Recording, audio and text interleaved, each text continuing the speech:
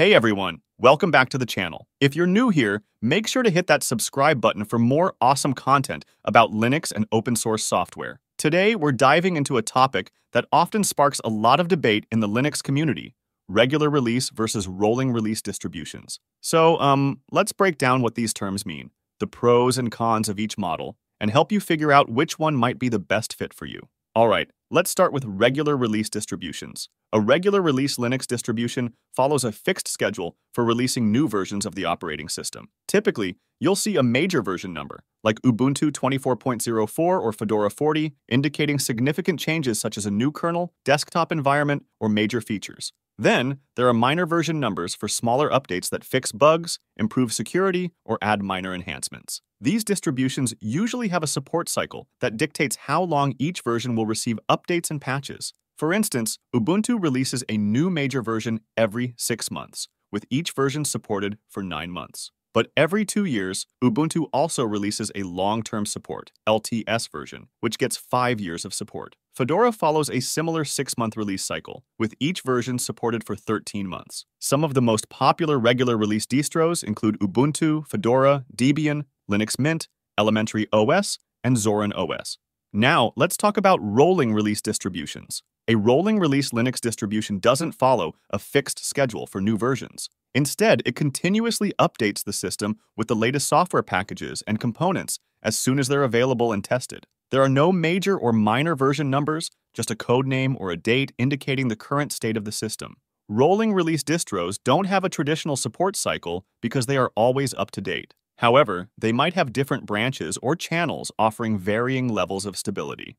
For example, Arch Linux has a stable branch that gets updates after thorough testing and a testing branch for updates before they are fully verified. Manjaro Linux, which is based on Arch, offers three branches, stable, testing, and unstable. Some of the popular rolling release distros include Arch Linux, Manjaro Linux, OpenSUSE Tumbleweed, Solus, Gentoo Linux, and Void Linux.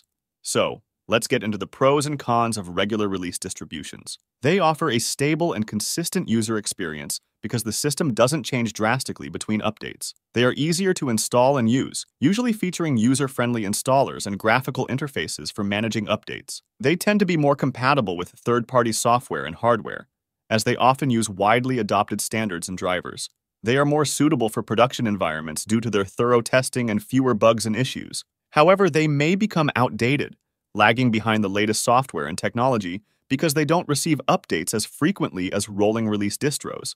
They might require a complete reinstall or a complex upgrade process when a new major version is released, which can be time-consuming and risky. They often have less customization and flexibility, usually featuring a predefined set of software and settings that are hard to change or remove. They may not always be compatible with the latest hardware, like newer laptops. Now, let's look at the pros and cons of rolling release distributions. They offer a cutting-edge and dynamic user experience, with the system always updated with the latest software and technology. They are more customizable and flexible, often featuring a minimal and modular design that lets users install and configure only the software and settings they want. They don't require a complete reinstall or a complex upgrade process, as the system is continuously upgraded with incremental updates. They are more suitable for enthusiasts and developers due to more features and options and being more responsive to feedback and suggestions. They tend to be compatible with the latest hardware. On the flip side, they may be unstable and unreliable, with the system changing frequently and unpredictably, possibly introducing bugs and issues